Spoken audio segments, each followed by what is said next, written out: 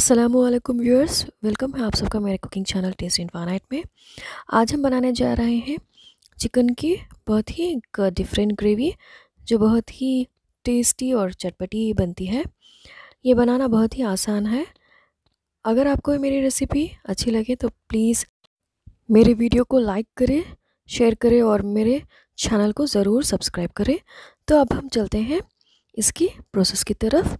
तो इसकी प्रोसेस में हमें पहले पेस्ट बनाना होता है। तो इसके लिए मैंने यहाँ पर लिए हैं ऑनियन, दो बड़े। इसके यहाँ पेस्ट बना लें। देखिए इस तरह से। फिर हम टोमेटो लेंगे इसी जार में। करीब दो कप या फिर पाँच टमाटर। इसको भी हम पेस्ट बना लेंगे। अब हम लेंगे कुकर में ऑयल करीब चार टेबल स्पून। इसको हम गर्म होने के लिए देंगे। जब ये गर्म हो जाए तो अब हम इसमें एक ऑनियन फाइनली चॉप कर कर डालेंगे। अब इसको हम तल लेंगे। देखिए इस तरह से।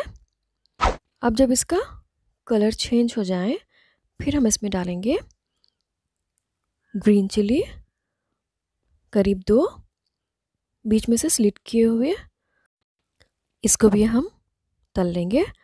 फिर अब हम इसमें डालेंगे कसूरी मेथी, करीब दो टेबल स्पून इसको भी हम दो मिनट तल लेंगे। देखिए इस तरह से। कसूरी मेथी डालने से किसी भी ग्रेवी या सालन का फ्लेवर जो है बढ़ जाता है। इसे हम टेस्ट एनहांसर भी कह सकते हैं। देखिए, अब हम इसमें डालेंगे जिंजर गार्लिक पेस्ट, करीब दो टेबल स्पून इसको भी हम तल लेंगे इसको हमें तब तक तलना है जब तक इसका कच्चापन जो है दूर ना हो जाए। देखिए, इस तरह से, अच्छी तरह से हिलाते हुए तल लें। देखिए, अब इसका कच्चापन दूर हो गया है। अब हम इसमें डालेंगे रेड चिली पाउडर, करीब हाफ़ टेबल स्पून इतना काफ़ी है क्योंकि हम आगे जाकर इसमें चिकन पाउडर भी डालने वाले हैं तो वो भी तेज़ होता है तो इसलिए चिकन, चिली पाउडर जो है कम ही लगेगा। फिर गरम मसाला पाउडर हाफ़ टेबल स्पून। देखिए, अब हम डालेंगे चिकन मसाला पाउडर, करीब 50 ग्राम। किसी भी ब्रांड का आप ले सकते हैं। अब इन सारे मसालों को दो मिनट के लिए इस तरह से तल लें। देखिए, अब ये हमारे मसाले अच्छी तरह भुन चुके हैं। अब हम इसमें डालेंगे हमारा ऑनियन पेस्ट, जो हमने पहले ही बना कर रखा था। देखिए, अब इसको भी हम दो मिनट के लिए इन मसालों के साथ तल लेंगे। इस तरह से। अब हम इसमें डालेंगे टमाटो पेस्ट। अब इसको भी हम अच्छी तरह से इन मसालों के साथ भून लेंगे। अब हम इसे ढक्कन लगाकर, तब तक हमें इसे इन मसालों को भूनना है, जब तक कि ऑयल ना छोड़ने लगे। देखिए ये हमारे मसाले सारे भुन चुके हैं, ये ऑयल छोड़ने लगे हैं। देखिए, अब हम इसमें ऐड करेंगे कर्ड करीब पाव लीटर जितना। ख्याल रखें कि जब आप कर्ड ऐड करें तो गैस का फ्लेम लो पर रखें, वरना कभी कभी हमारा कर्ड जो है फट भी सकता है। अब इसको अच्छी तरह से हिला लें। अब इसको भी हमें पकाना है। कर्ड को भी तो ढक्कन लगाकर हम मीडियम फ्लेम पर पका लेंगे। देखिए, अब ये पक चुका है। ये भी ऑयल छोड़ने लगा है। अब हम सॉल्ट डालेंगे। सॉल्ट सॉल्ट हम टेस्ट के अकॉर्डिंग डालेंगे। फिर हम इसमें डालेंगे फ़ूड कलर। फ़ूड कलर डालने से क्या होगा कि हमारी ग्रेवी का कलर जो है बहुत ही रिच रेड हो जाएगा। बिल्कुल रेस्टोरेंट स्टाइल लगेगा।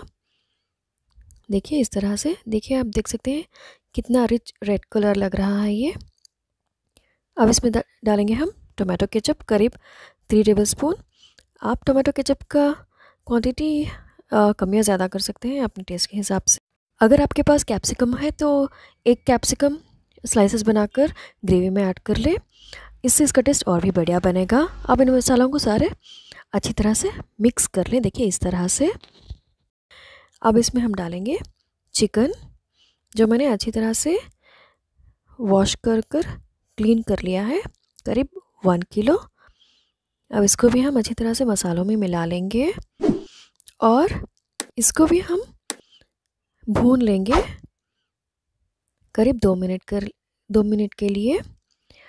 इस तरह से ढक्कन लगाकर। देखिए, अब ये हमारा चिकन भी भुन चुका है इन मसालों के साथ। देखिए, अब हम इसमें वाटर ऐड करेंगे।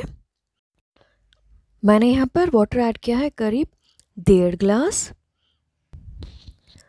अब इसको भी हम अच्छी तरह से मिलाकर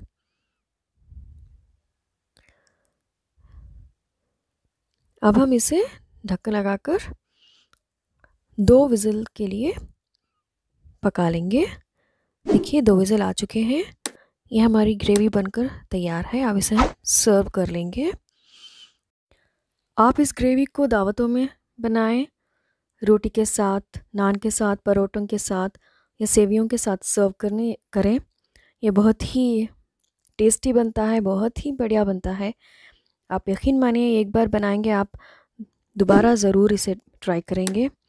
अगर मेरा वीडियो आपको अच्छा लगे तो प्लीज़ लाइक करें शेयर करें और मेरे चैनल को ज़रूर सब्सक्राइब करें। Thank you